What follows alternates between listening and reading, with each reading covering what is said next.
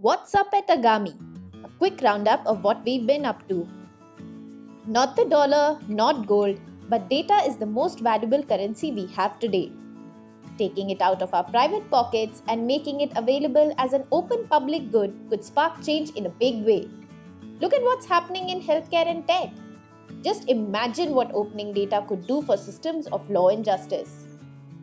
At the Agami meetups held in Bangalore, Delhi, and Mumbai, lawyers, non-profits, researchers, and journalists expressed a need for data that could aid, scale, and better their work.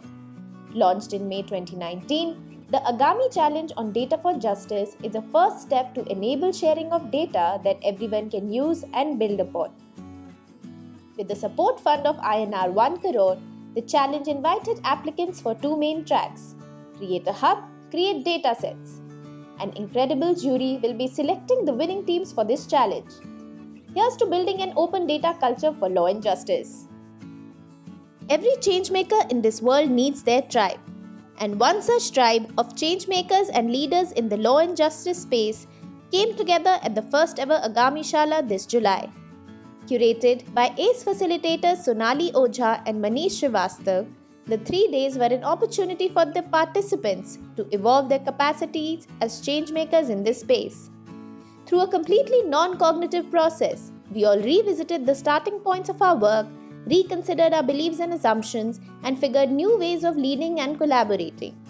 This was also the last time we spent with a friend we will all enormously miss, Dr. Shamnad Basheer. Watch a video of the Agami Shala experience on Agami's YouTube handle. And now, the future of dispute resolution is closer than ever.